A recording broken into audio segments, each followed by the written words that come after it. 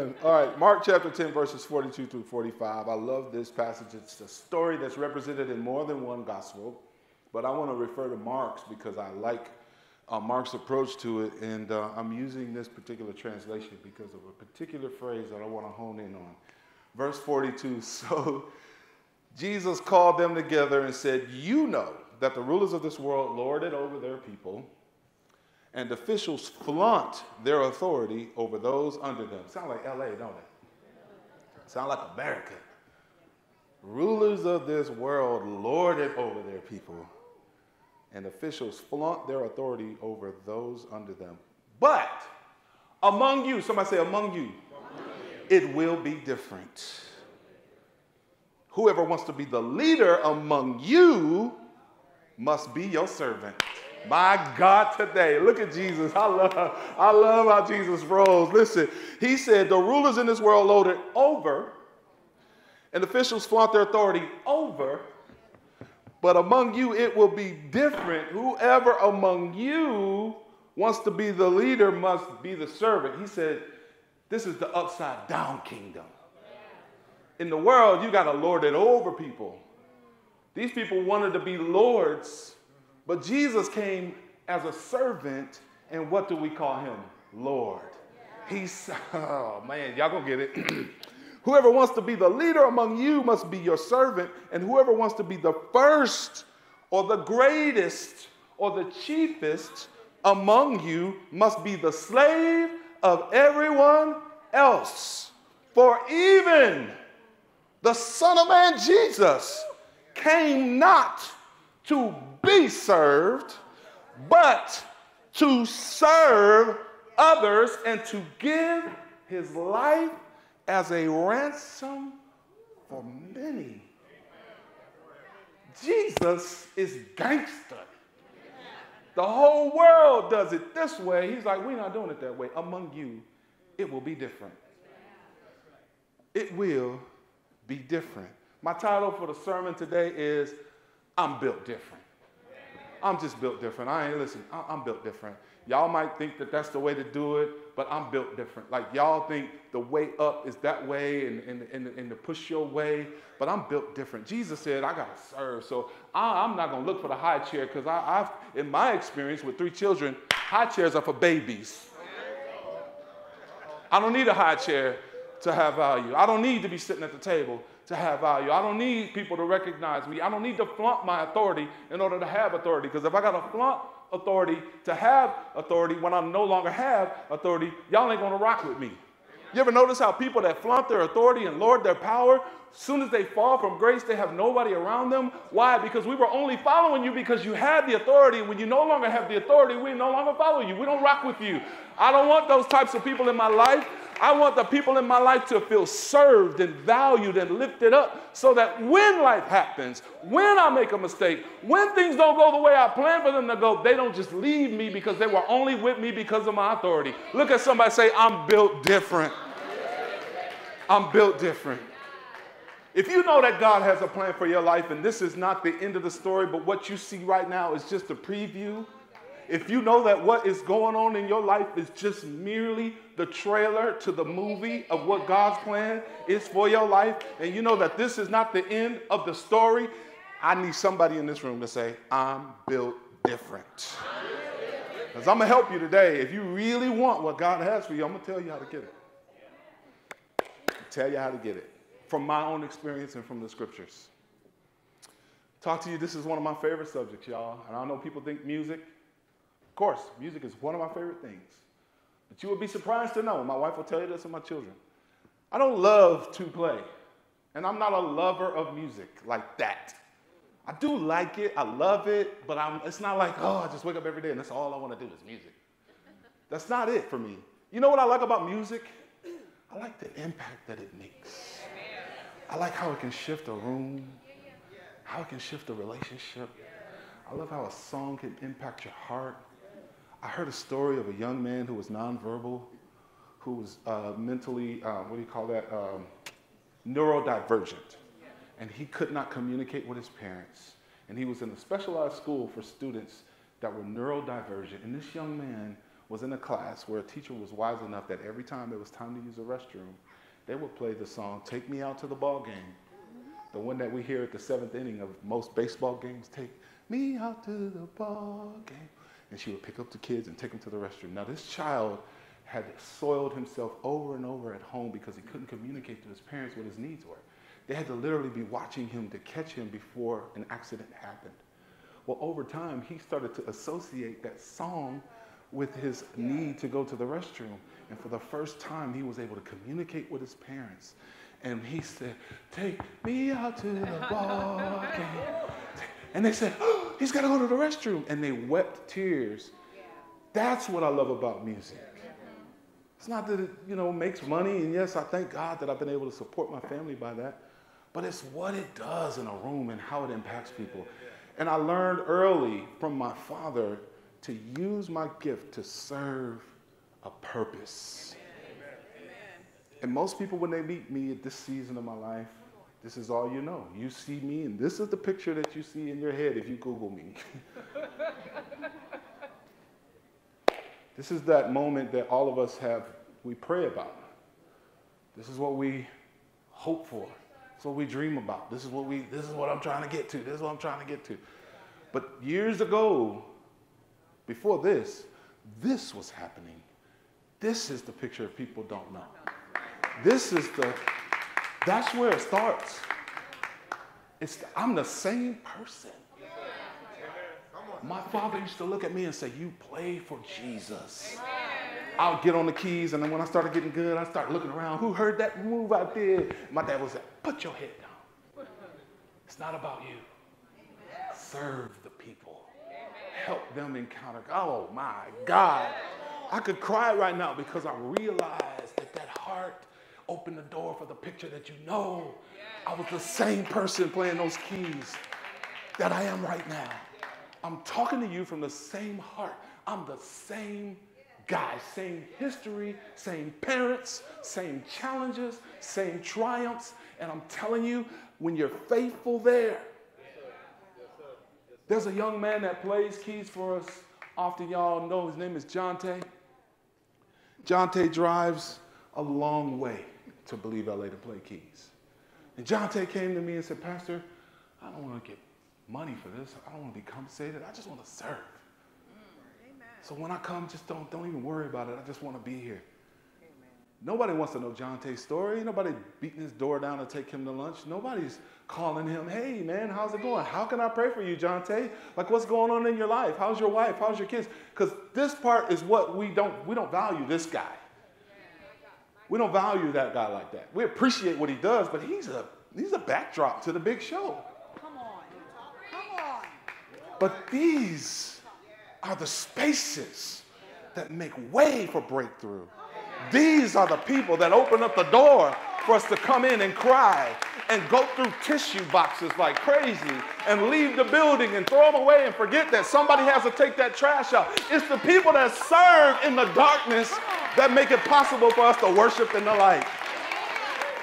And what I love about people like John Jonte is he doesn't just show up when he has to play. And I did not even know he was going to be here this week because he wasn't on the list. But Jonte is sitting right there on the third row, faithfully worshiping God and so stand up, Jonte. Jonte Moore, amazing heart of a servant. Amazing heart of a servant. At 7 a.m., when we're waking up, most of us, some of us a little bit later than that. There are people that show up on this campus and they begin to set this up. Sometimes the sun is not up and we got people praying and worrying about it like, oh, is this here? Is this there? Is this there? We got people that show up early. I can't name everybody, but I want you to know that sometimes we feel like we're overqualified to serve. Oh man, I don't do that no more. How in the world do you outgrow serving? How? How? Jesus Christ, God incarnate, the one that died for our sins, the wisest, most anointed, most powerful, most elevated being, the only one that could have said, I outgrew anything. said the Son of Man did not come to be served, but to serve. So who are we to outgrow serving? There's a young man who has young children. I'm just wiping excuses away. Young babies. And a wife. And a business. And an entire Juris Doctor that shows up at 7 a.m. to put signs on the street. Then he changes his clothes and walks on this platform with his wife. And looks like he just showed up 20 minutes ago. Pastor Corlandos has the heart of a servant. He doesn't have to do it, he's just built different. Jonte doesn't have to do it, he's just built different. I want to know if there's anybody in this room that says, I want to be great.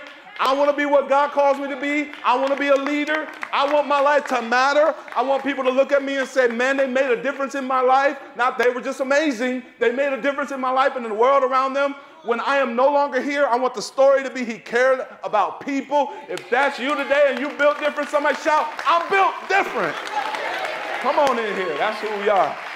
When we first launched Believe LA, a pastor who's a dear friend of mine from Texas said to me, Before you launch your church, before you launch your church, you need to pray and identify what is the prevailing principality in that area of Calabasas. What that means is, what is the thing that is the big problem? What is the mindset that makes it difficult for people in this area? I had a conversation with the captain of the Lost Hills Sheriff Department because I don't just do Sundays. I told y'all Sunday is the locker room. I'm just literally coaching y'all up so you can go out of here and do what God called you to do. This is not the game, saints. This is not the game. Your Christianity and your service and your life is not about this room. It's about what you receive in this room and then you take it out and you impact the world around you. And I sat with the sheriff, the captain of the sheriff's department, Captain Seetoo, and we sat for an hour and I shared with her our vision and our heart and the things we want to do. Because I believe when you come into an area, you need to let them know you're here. She was like, Oh, I got you guys. We're looking out for you. If you want to, we can park a car out front, whatever you think you need. In fact, I want to come visit church. She shared with me, she said, I used to work in South Central LA for the sheriff's department for years. She said, You know what the primary difference between South Central and Calabasas and this valley? I said, What? She said, Down there, people look out for each other. Yeah. I said, Say what? she said, Yeah, they look out for each other. There's crime, there's challenges. They look out for each other, generally. She said, You know what the challenge out here is? I said, What? She said, They try to keep up with each other. I was like, You better preach, Captain Seetoo. You better call it out. And if I'm honest, before I put it on a them, I ain't gonna lie, I saw that Tesla truck and I was like, oh. I, I could probably, I could get one of those. I think I could. Let me check the. How many have ever been there where you saw something somebody had and you're like, man, I feel like I need to have that too? Why though? Because there's something inside of us that wants to aspire to greatness, yes. There's some of us that knows that there's better than what we have, yes. But there's also this selfish part of us that just wants to have things just to have them because they look good on somebody else. But I'm going to tell you, everything that look good ain't good. Somebody can have something and they might be all right for it because they got the grace for it. You don't have that grace on your life. You ought not be praying for things that you don't have a grace for. If it hasn't come into your life yet, it's probably not for you. and there's something powerful about a private plane that we don't know about. It's called it's called uh, uh, maintenance, but uh, compulsory maintenance. You got to get maintenance done that costs hundreds of thousands of dollars, even though ain't nothing wrong with the plane. Certain mileage you hit, it's like, yep, here's your $50,000 maintenance. And that doesn't include the fuel, that don't include the hours, it don't include, include the pilot, it doesn't include the hangar fees. It doesn't include the ground crew. It doesn't include that you got to hire a pilot. Y'all think you want a private plane. You don't want them problems yet unless you got the grace for it. Listen, what you need to be asking God is, Lord, put me in the heart of a servant so much that somebody that owns a private plane comes to me and says, anytime you need to go somewhere, because you've been such a servant to my life, I'm going to allow you the blessing that I have a grace for. Boy, I like this kind of preaching right here, man. I like this kind of preaching because it puts it where the goats can get it, as the people down south say. Living this life of Christ likeness requires self sacrifice. And Jesus challenges these guys. Let me tell you the story about these guys. Like, so if you go to verse 35, there's a conversation between Jesus and two of his disciples, James and John. This is how this whole thing happens.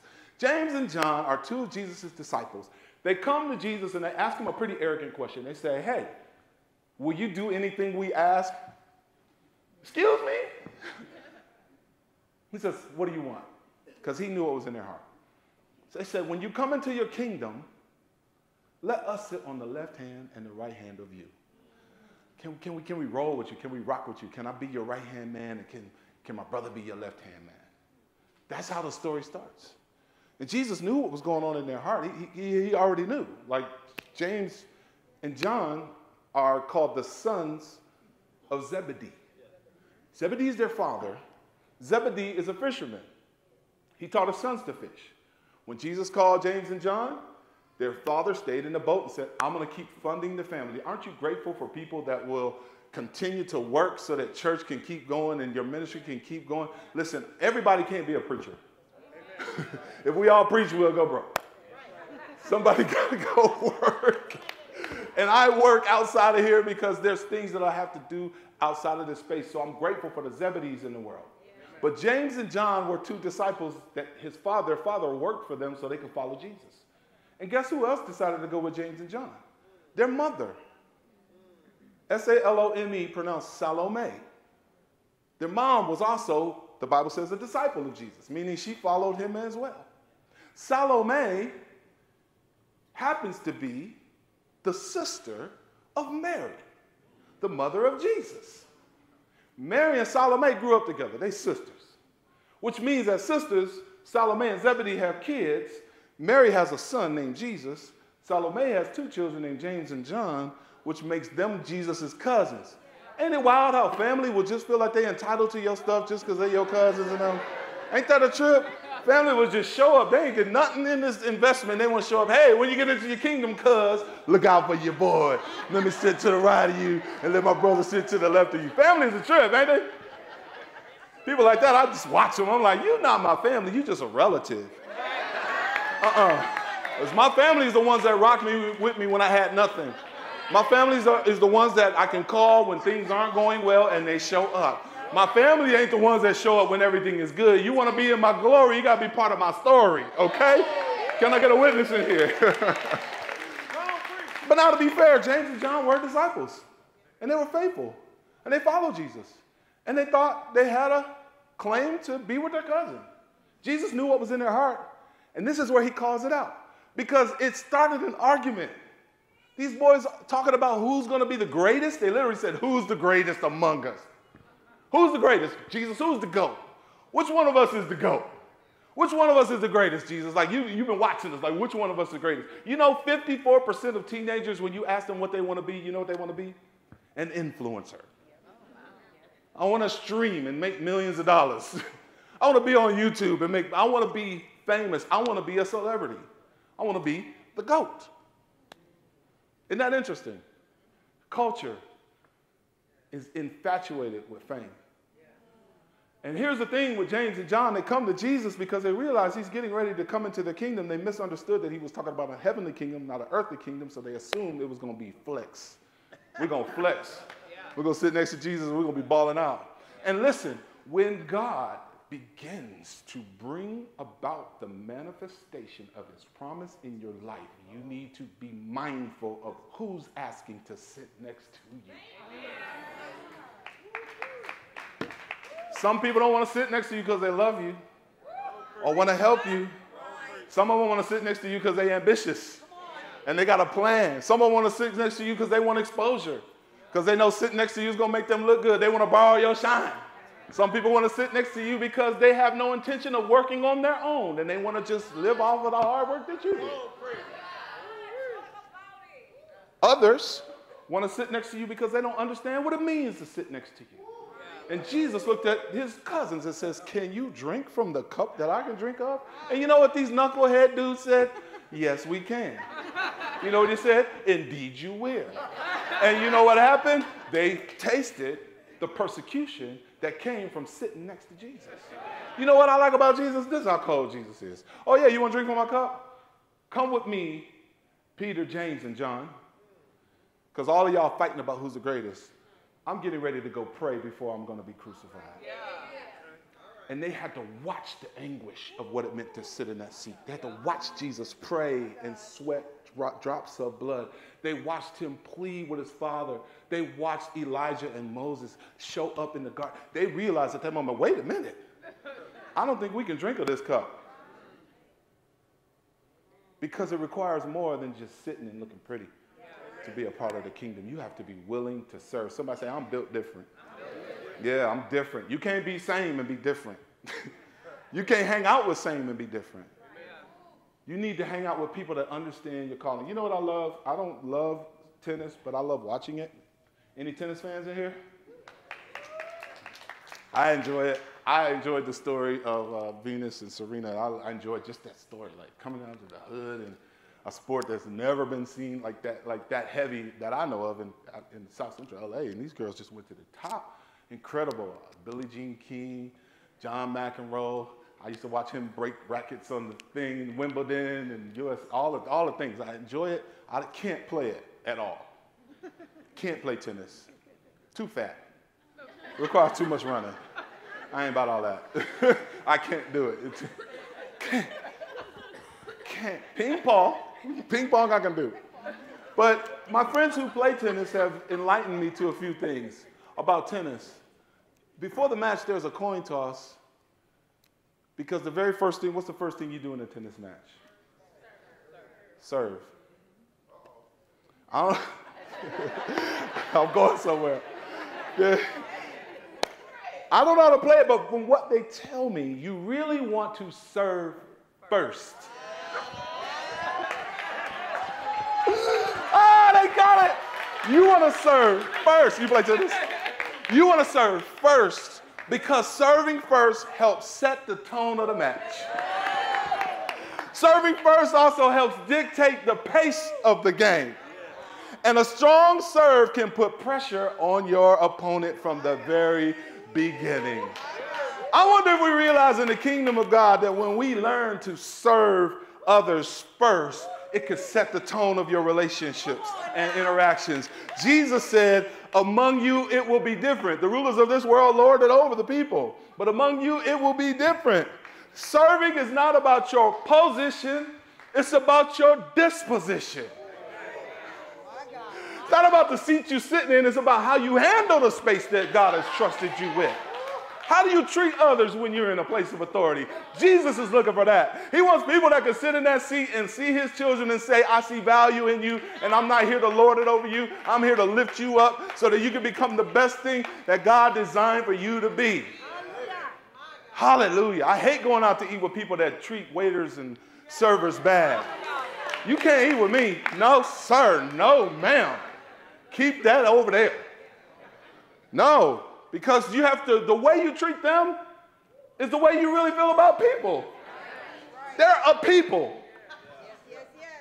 Man, serving is not about your position, it's about your disposition. And when we prioritize serving others with humility and compassion, we create an environment of kindness and generosity that fosters meaningful connections and sets the tone.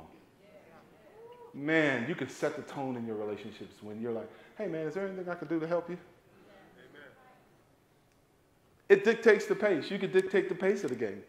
Serving in the kingdom of God and in life can also lead to advantages. Setting, dictating the pace is an advantage for you because you get ahead. Here's the deal My, life moves at the speed of relationship. Relationship moves at the speed of trust. And surprise is the beginning of trust. Let me tell you what that means. Surprise, it's like, oh, that pastor's pretty cool.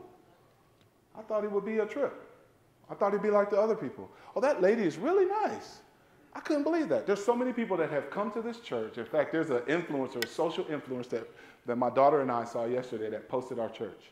Such a sweet post. She was like, Oh, Calabasas, there's a dope church. You need to go visit. She didn't have to do that, but she was surprised at how kind and how different, how different it was from certain experiences. Let me tell you something. Doesn't mean that you're better, just means that you're different. And the difference is better. it doesn't mean that you're better, it just means you're different. And the difference is better. Amen?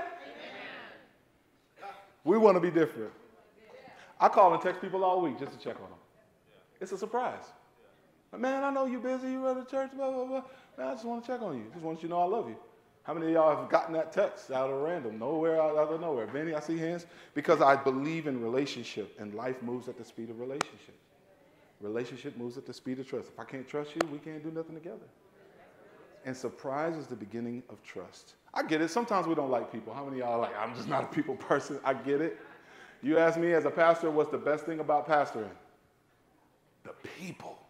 Whew. Sorry, man, I just messed the mic up. You know what else is the, you know what's the hardest thing about pastoring? the people. so, so I get it. But when I serve people out of my love for Jesus and his love for people, I begin to love what he loves. And Jesus said, Among you, it will be different. Doesn't mean you have to tolerate abuse. Doesn't mean you can't set boundaries. It doesn't mean that you protect your emotional space and don't let people abuse your service. But it does mean you have to be different. Because God wants his children to be like him. Finally, serving puts pressure on your opponent. Serving first. Serving puts pressure on the enemy because he's looking for a place to undermine the blessing of God in your life. He's looking for ways to undermine the blessing of God in your life. So when you take on the disposition of Jesus and you serve, even when it's hard, even when you don't feel like it, even when they don't deserve it, even when they get on your nerves, it puts pressure on the enemy. Romans 12, 17 through 20. If you don't believe me, believe the Bible and the words of Paul. If it is possible, this is the out for me. Thank you, Paul, for this one. As far as it depends on you, right? That's the I ain't got to tolerate abuse. If, if it depends on me, if it's possible, live at peace with everyone. Do not take revenge, my dear friends, but leave room for God's wrath. In other words, when you treat people right, God will take care of them. You can't get the type of vengeance that the Lord can get. God will disturb people's sleep when they do you wrong. I'm a uh-huh. witness. I have been good to people that were not good to me, and they came back to me months later saying, Man, I'm sorry. I don't even understand why I was that way to you. But I couldn't sleep until I got this off my chest. God will bother your enemy when you do right. God will trouble their sleep. You want to talk about getting somebody back? The best way to get somebody back is to back up. Lord, you got it.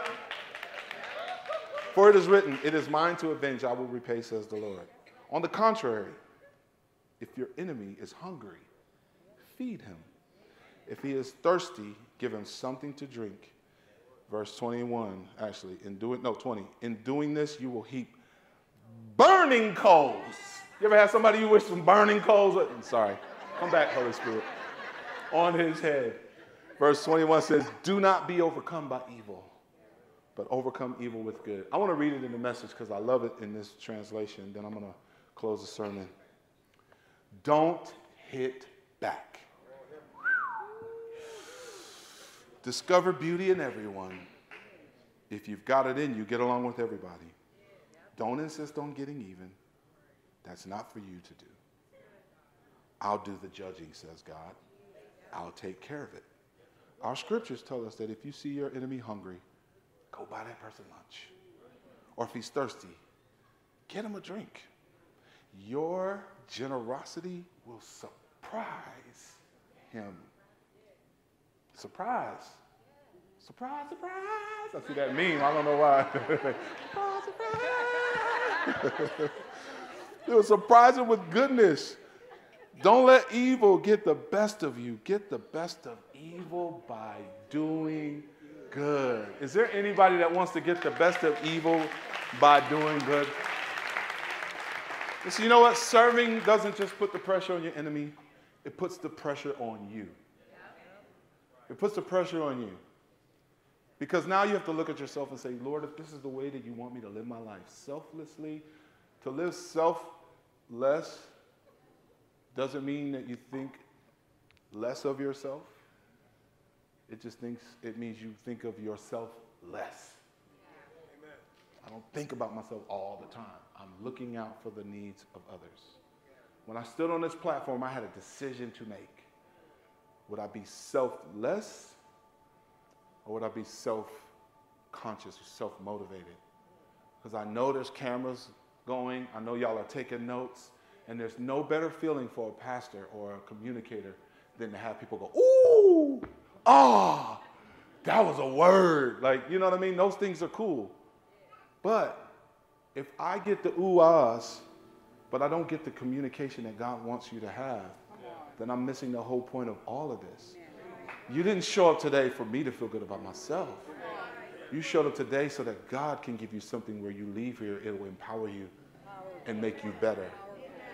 And so, my goal today is to get you to leave this place and think of every interaction differently. When you go to your place of work and that person has been working them nerves, starts to work them. You have a spiritual decision to make. It's not a natural decision. Do you want to do it or do you want God to do it? Do you want, do you want to feel the, grad, the, the, the, I don't know, gratification of, binge, of binging yourself? I feel like there are prisons filled with people that needed that gratification. Not just physical prisons, but mental prisons. You know you did it. You know you did that back to them. And it felt good for a second, but it's now eating on you. How are we going to live our lives? Are we going to be Christ like? Jesus was like, yo, if you want to be great, you got to become a slave of all. That's why I wore the work vibe today to be an illustration that serving in the kingdom is not about swag. It's not even about your career.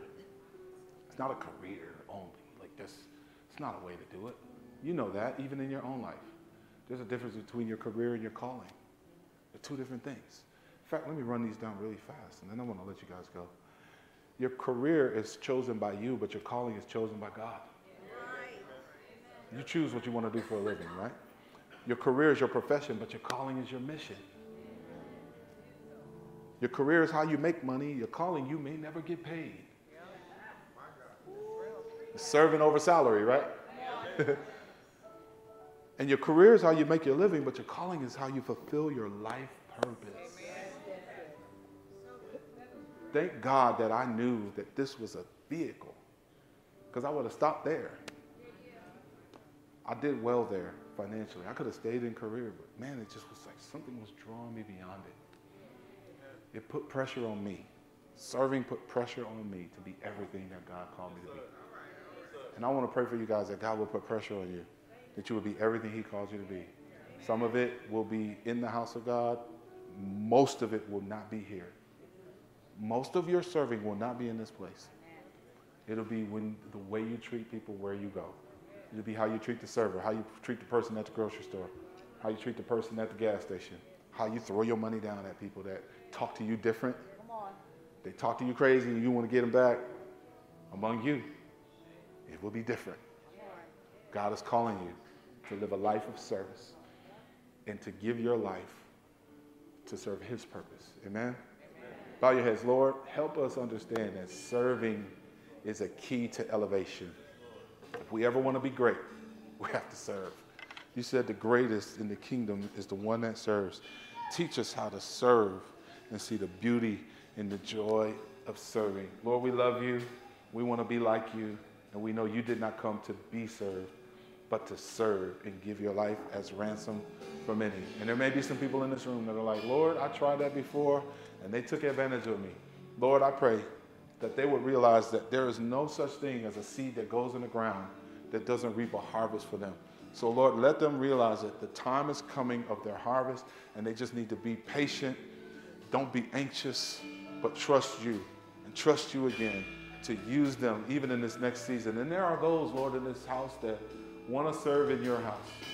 They have gifts and talents, but have been not ready to use them. Lord, touch their hearts, soften their hearts, give them courage to serve in your kingdom. In Jesus' name, amen. Amen.